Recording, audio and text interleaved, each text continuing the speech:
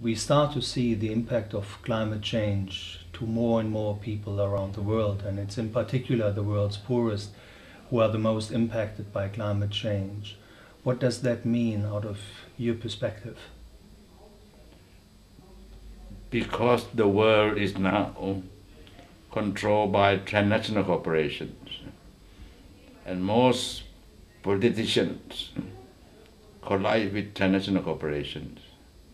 And transnational corporations have main motive is greed. They want more profit, they want more money at any expense. Hence, nature is destroyed, the poor suffer so much, and yet they say the poor should sacrifice for development, for globalization. I think this is hypocrisy. I think if people are serious, they should examine their thoughts that this way of development is suicidal. It's not only for this generation, but for generation to come. And not only the poor are going to suffer, even the rich will also suffer. I think it's about time to think deeply and not only using your brain, examine your heart. About time the people should have time to pray. That may be an old fashioned meditate regarding the most important element in our life is breathing, not thinking. When you breathe in mindfully, breathe in peace, happiness, you can restructure your consciousness.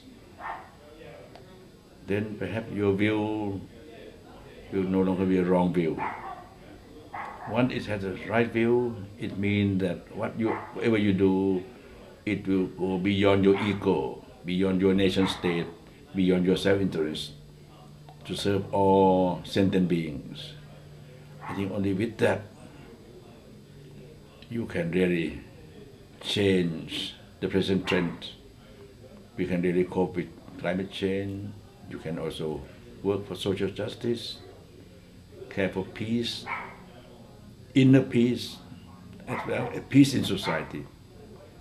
So if we are about to solve the climate crisis, the change has to start with individuals from within? Yes, the change must start within the heart. The Dalai Lama said, world peace will not be possible unless each of us cultivate peace within. This is the most difficult task, but it is the only way. We have meditate on that.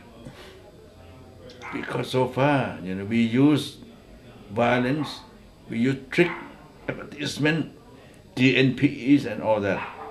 I think we must throw away all this garbage and cultivate peace.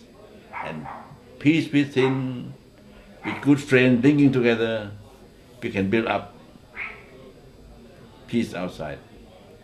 And real peace, it, it, means environmental balance, it means social justice, non-violently.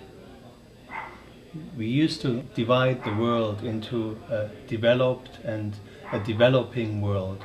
If I hear you talking, I think there is some rethinking needed of these concepts when we have peoples on this planet who showed that they can live for tens of thousands of years on this planet Earth without destroying the system that supports them. Yes, this underdeveloped and developed is a cliche to brainwash other people, to catch up with the Americans. Are the Americans happy? Even the rich Americans. And the Americans build more and more jails more and more suffering.